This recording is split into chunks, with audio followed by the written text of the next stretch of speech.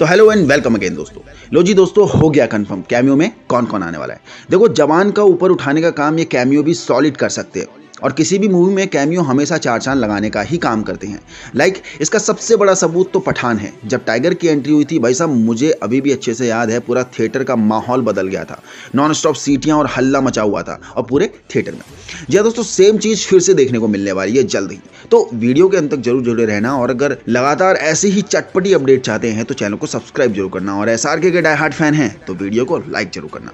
तो चलिए शुरू करते हैं। भाई साहब, बहुत बड़ा नाम सामने आ रहा है कैम्यू लिस्ट में कॉन्फर्मेशन के लिए। देखो, अभी तक बस ये एक न्यूज़ थी, एक अपडेट थी। कि ये ये कैम्यूज हमें देखने को मिल सकते हैं, जिसमें विजय थालापति का नाम सबसे ऊपर था। लेकिन अब ऑफिशियली ये कंफर्म हो चुका है हंड्रेड एंड वन परसेंट की थालापति विजय का कैम्यू कंफर्म है मूवी में। देखो, ये न्यूज़ हंड्रेड परसेंट रिवील करी गई है जवान मूवी के एक्शन डायरेक्टर द्वारा। तो भाई साहब, दिल थाम के बैठ जाओ, बहुत मज़ा आने वाला है। दूसरा ये भी है कि अटली कुमार जो मेन डायरेक्टर है मूवी के एक्शन फ़िल्मों के लिए one of the best director में इनकी गिनती करी जाती है पूरे इंडिया में।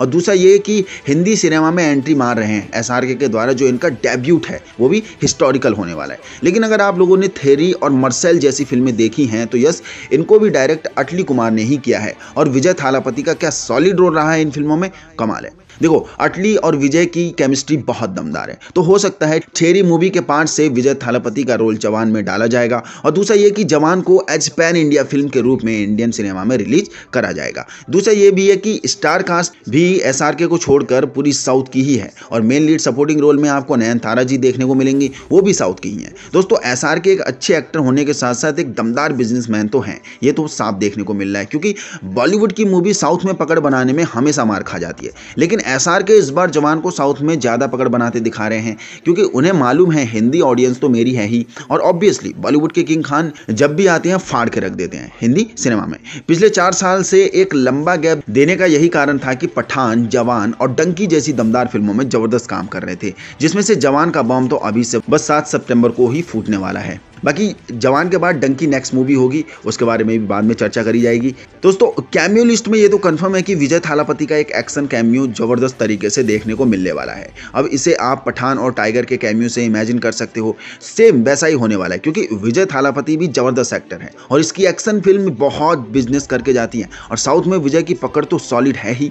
दोस्तों, तमिल से तो जवान को बहुत सपोर्ट मिलने वाला है, क्योंकि विजय की होम टाउन लैंग्वेज भी तमिल ही है। बाकी दोस्तों दिल थाम के बैठ जाओ बॉक्स ऑफ़िस में बहुत रिकॉर्ड टूटने वाले हैं। जवान पीछे नहीं हटने वाली है। और नो डाउट मूवी तो ब्लॉकबस्टर का टैग लेकर ही जाएगी। बाकी मैंने बहुत बोल लिया अब आपकी बारी। पहले ये कि विजय थालापति को कौन कौन जानता है? अगर आप जानते हो तो उनकी ठेरी और मरसेल मूवी देखिए क्या?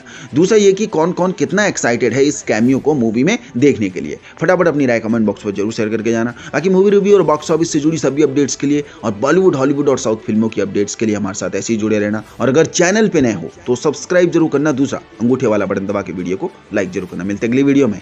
जय हिंद।